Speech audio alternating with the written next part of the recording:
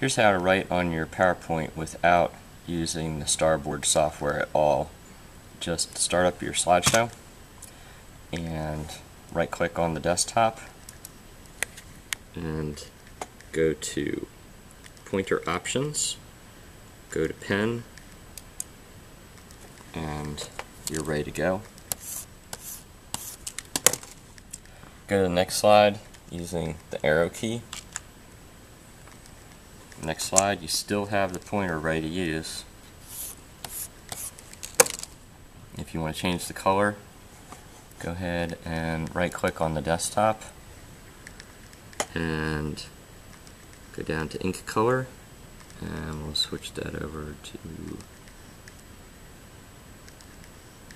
something greenish which won't show up that well on here